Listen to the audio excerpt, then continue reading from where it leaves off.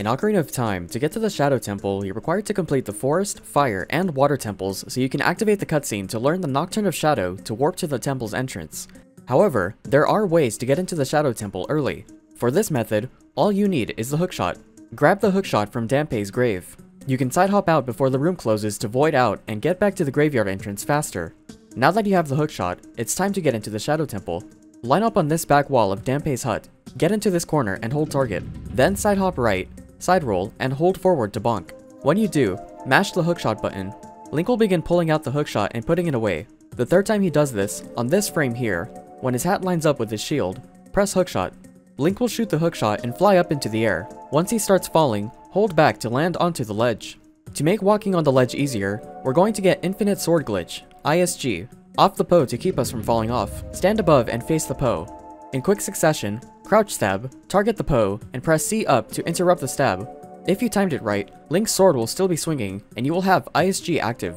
Now you can safely walk along the ledge towards the warp pedestal. Be careful at the corners though, as you could slip down them and get stuck. If you do, you can try to side hop or backflip onto a different spot to save yourself. Once you get to the end of the graveyard, you can enter Shadow Temple by one of two ways. If you have Din's Fire, you can open Shadow Temple as intended. If you don't want to do that, you can get to the center of this ledge here, and side hop past the stairs, jumping over a load trigger, letting you access the Shadow Temple without opening its door. Now that you're here, you can beat Shadow Temple without having any items like the Lens of Truth, bow, hammer, or longshot. Progressing through the temple doesn't change much when you enter it early. Here are some ways to solve the rooms with your limited inventory. Getting to the hover boots without the Lens of Truth is simple enough, as the only other branching path leads to the dungeon map. When fighting Deadhand, you can time a jump slash right before it dives to score another hit.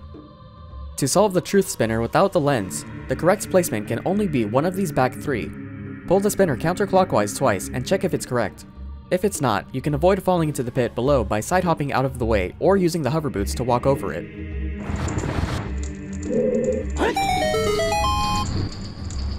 If you blow up the Beamos statue, you'll see that Navi turns green and flies to the center of this room. If you play the Song of Storms, you can spawn a Big Fairy.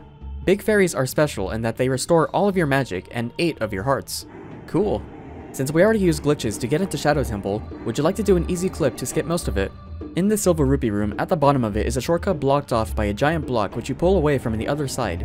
You can clip through the bars with this setup. Line up in this corner, side hop left 3 times, do 2 targeted slashes stopped by shielding, do 1 more vertical slash without shielding, do a jump slash, and hold shield to stay in place. One last jump slash will put you past the bars. Congratulations, you can move the block into its resting spot to keep the shortcut open. After grabbing that key from the Silver Rupee room, use it on the door hidden behind an invisible bombable wall to the basement 2 hallway. You can do a few rolls, turn right, and toss a Deku Nut onto the wall to stun the three Skulltulas on your path.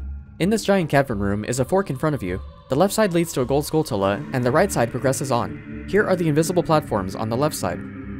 The room has an invisible spinning scythe in its center, its area marked on the floor. You can take out the keys with your hookshot. In this spot here with the Selphos, you'll notice that Navi turns green again. This is another spot you can spawn a big fairy. Here, play the Song of Storms, and you can spawn the big fairy. The stone umbrella room is solved by pulling this block out from behind the invisible wall and using it to shield you from the falling spikes. There's other ways to get past this puzzle though. One option is to pull the block out only a little, then use a ground jump to climb up the block. Drop a bomb, then have your sword in hand and try to pick up the bomb while shielding. After it explodes, when Link does a backflip, he will hop upward, letting him grab the ledge. Another method involves this moving spike here. You can backflip onto the spike at the right moment and either clip through or get pushed onto the falling spike. If you want to show off to your friends, you can backflip directly under the spike as it's falling and clip through it to end up on top. Hit the switch and grab the key in the small chest. The next locked door is over there across the gap. There are invisible platforms here, one stationary and one moving. Here's what they look like. There's a couple ways to get through here. One way is to simply run at an angle towards the door and hope that you timed it right. Another method is to use the hover boots on the same path and float across the platforms.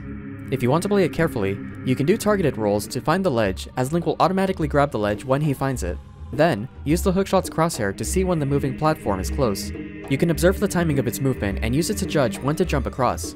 Now, unlock that door.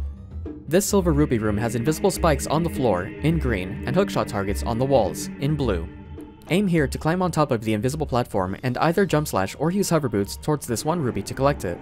After collecting the rupees, the door on the left will open, before entering it, if you have Farore's Wind, You can set it here to save some time coming up.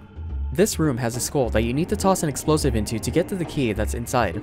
There's bomb flowers to use up top, or you could throw your own bombs instead. With good timing, you can even use a bomb bombchu directly on the vase and have it blow up as it touches its base, counting for the puzzle. To open the door out, defeat every enemy. Since we set Farore's Wind in the last room, we can use it to get out.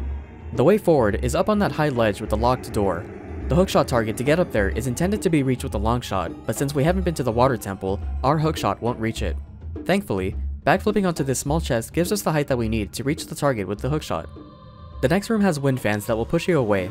There's optimized movement to get through here in one cycle, but I did not practice it, so I will have Link run in place as he faces hurricane force winds. In the room beyond the narrow path with fans is a hint telling you to use the hover boots in the last room to progress, but you don't really need to. While we're here, we can play the sun song to spawn a big fairy.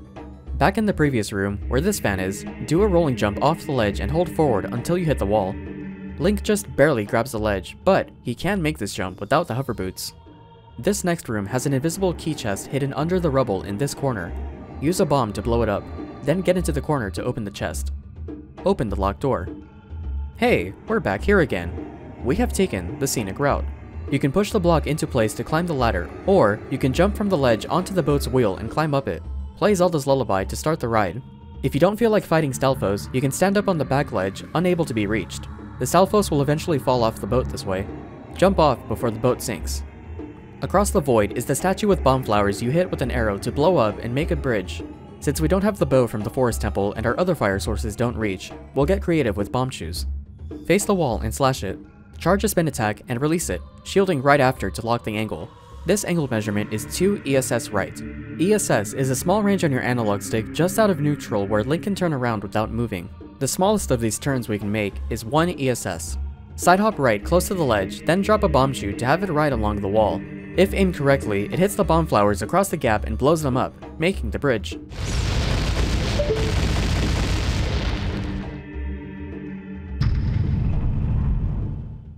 This room is a maze of invisible walls. Hug the right wall and you can get around easily. This room has a small key. Jump slash the invisible floor master to defeat it, and do a quick spin to defeat the three tiny ones it spawns. This room just has rupees and a gold skulltula and can mostly be ignored. This room has the boss key, to break the closing spike walls, you need to use Din's Fire. However, you can also do this. Run towards the Reed to get its attention, and keep jump slashing. If it freezes Link while he's in the air, Link will stay in place as the wall moves through him. When he unfreezes, he's on the other side of the wall. Hurry up and grab that boss key, because if the spike walls meet in the middle, Link gets voided out and you'll have to do it again. This room has invisible platforms to cross with the hover boots. Here's the layout of it. You can run forwards, aim left, then back right to cross it. Now to go fight Bongo Bongo. Bongo Bongo does not require the boat to defeat it. You can use your hookshot to shoot its hands and eye as it rushes at you. In fact, you don't even need anything other than your sword for this fight. You can do quick spins to hit the hands right before they attack you, then do a well-timed sword swing to hit Bongo Bongo's eye. Use the power of a 150 beat per minute rhythm to one cycle it with crouch stabs. Collect your heart piece and enter the blue warp to complete the dungeon. Congratulations! You have completed the Shadow Temple before entering any of the other ones. We can check our inventory and see that we only have the Shadow Medallion collected here. Now go enjoy the hover boots in the previous dungeons. Neat!